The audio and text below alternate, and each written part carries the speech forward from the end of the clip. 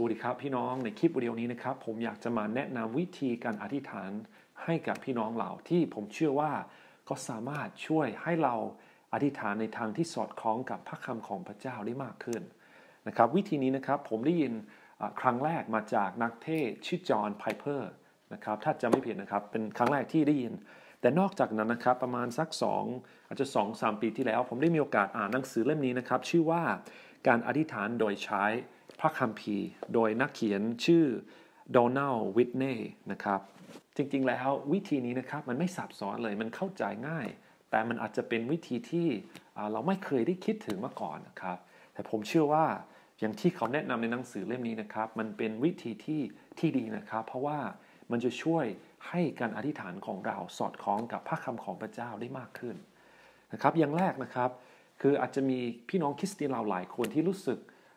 หมดกำลังใจกับการอธิษฐานของเราหรือเราอาจจะเราอาจจะรู้สึกเบื่อ เราอาจจะรู้สึกว่าเราคิดไม่ออก ไม่รู้ว่าจะควรจะอธิษฐานเผื่อเรื่องอะไรบ้าง แต่ถ้าเราใช้วิธีนี้นะครับ มันจะแก้จุดนี้ได้ เพราะว่าเราไม่ได้อาศัยความคิดของตัวเองในการอธิษฐาน แต่ว่าเราใช้พระคัมภีร์ไบเบิลในการเป็นโครงสร้างการอธิษฐานของเรานะครับคือผู้ชายคนนี้และคนอื่นๆนะครับ เขาแนะนำว่าให้เราใช้ พระคัมภีร์ในการอธิษฐานของเรา หมายความว่ายังไงนะครับ ก็อยากจะยกตัวอย่างให้พี่น้องฟังจากพระธรรมสดุดีนะครับนักเขียนท่านนี้นะครับเขาจะแนะนำให้เราใช้พระธรรมสดุดีในการเรียนรู้ที่จะอธิษฐานนะครับมันเป็นหนังสือที่เต็มด้วยคำอธิษฐานและคำสรรเสริญบทเพลงต่างๆ ทุกคำพูดในพระธรรมสดุดีได้รับการดลใจจากพระเจ้าพระวิญญาณ เพราะฉะนั้นนะครับ เราสามารถมีความมั่นใจได้ว่า ทุกสิ่งที่ดาวิดหรือคนอื่นๆเขียนในพระธรรมเล่มนี้มาจากพระเจ้า เพราะฉะนั้นเราจึงสามารถมีความมั่นใจในการนำคำพูดเหล่านี้มาอธิษฐานกับพระเจ้าได้ ประเด็นคือว่าเรากำลังให้คำพูดของพระเจ้า ความคิดของพระเจ้า มาสอน ความคิดและคำพูดของเรา อย่างแรกนะครับ สมมติเรามาอ่านในพระธรรมสดุดีบทที่ 23 แล้วเราอ่านในข้อที่หนึ่งว่า พระยาเวทรงเลี้ยงดูข้าพเจ้า ดูดเลี้ยงแกะข้าพเจ้าจะไม่ขัดสน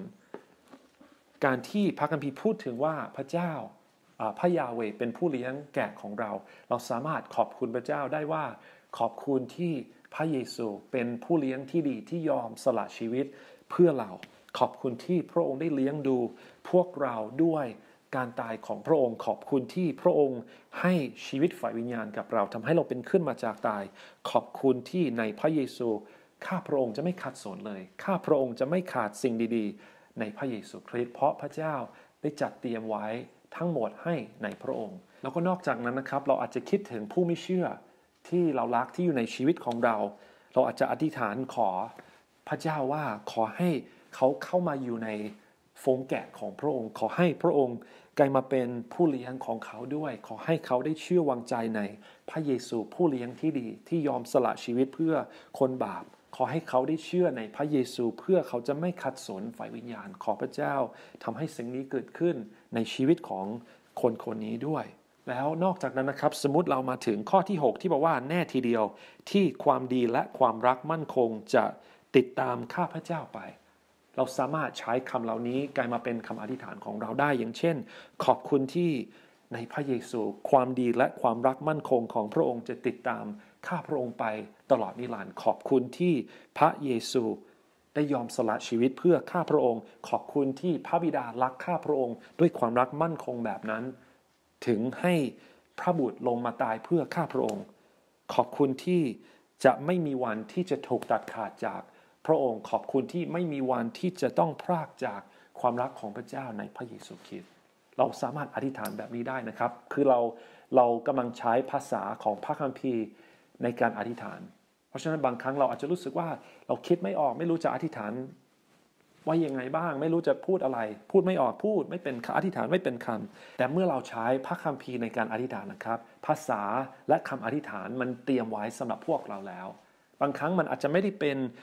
คำอธิษฐานนะครับ อย่างเช่น ข้อที่ 6กำลังเล่าเกี่ยวกับความจริงที่พระเจ้าทำเพื่อดาวิดแต่เราสามารถเปลี่ยนภาษาปรับภาษาให้กลายมาเป็นคำอธิษฐานได้ อย่างเช่น ขอบคุณสำหรับความดี ความรักมั่นคง อะไรอย่างเงี้ย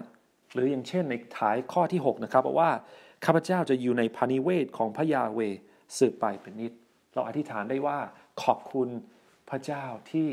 โดยทางไม้กันเขน ข้าพระองค์จะได้อยู่ด้วยกันกับพระองค์ตลอดนิรันดร์บนโลกใหม่ หรือสมมตินะครับว่าเรามาถึงสดุดีที่พูดถึงเรื่องการถวายเครื่องบูชา หรือเรื่องอว่าพระยาพระยาเวเป็นที่ลี้ภัยของเราผมว่านะครับเราสามารถในในเมื่อเราเป็นคริสเตียนที่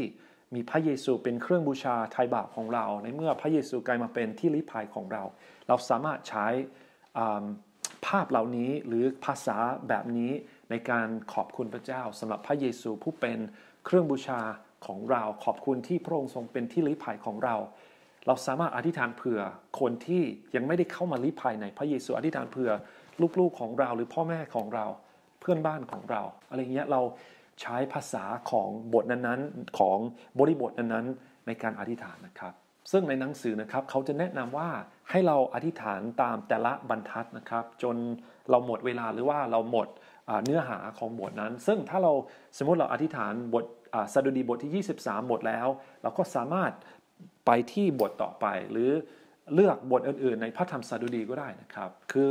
ถ้าถ้าเราใช้วิธีนี้จะไม่มีทางที่เราจะหมดความคิดในการอธิษฐานนะครับ เพราะว่าพระคัมภีร์จะเป็น